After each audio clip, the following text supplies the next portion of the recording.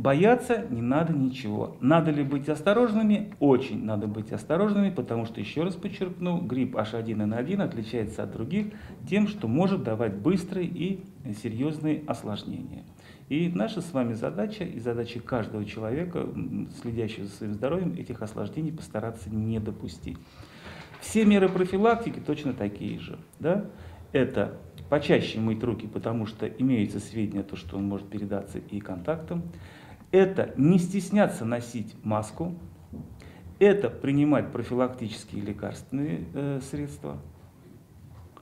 И это ограничивать свои контакты, если у вас есть возможность, э, у любого человека, отказаться от пребывания в каких-то вот местах массового скопления, где можно иметь контакт с заболевшим, то от этого надо отказаться. Из противоэпидемических мероприятий на сегодняшний день в области, я уже сказал, э, введена ежедневная отчетность и мониторирование ситуации раз, введены карантины в лечебных учреждениях два, по школам на сегодняшний день ничего пока не предпринималось, потому что уровень заболеваемости э, ну, э, позволяет пока не напрягать учеников, вот, прерывать их процесс. Я прошусь, прошу очень с пониманием отнестись к тому, что введены карантинные мероприятия мероприятий в учреждениях здравоохранения.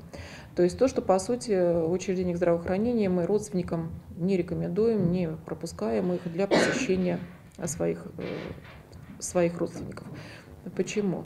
А, потому что если будет занос в учреждение здравоохранения, эпидемия пойдет по учреждению, по отделению. Если больной человек с ломотой, с головными болями, с температурой выходит из своей квартиры, он должен понимать свою ответственность. Он заражает всех, кто после него пройдет в подъезде, кто поедет вместе с ним в общественном транспорте. Он заразит своих коллег.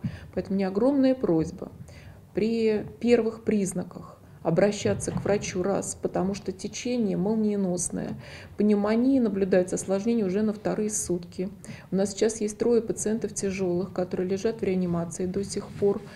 Мы боремся за их жизнь. Но если обращаются на третьи, четвертые, а то и пятые сутки, ну, иногда медицина может оказаться и бессильной. Поэтому я очень прошу своевременно обращаться. Своевременное противовирусное лечение – это уже 50% нашего успеха. Не надо заниматься самолечением. Я обращаюсь к жителям, к работодателям Тульской области. Если у вас один сотрудник пришел на работу больной, и вы сохранили на сегодня рабочую единицу, то завтра у вас может быть минус 5-10 рабочих единиц.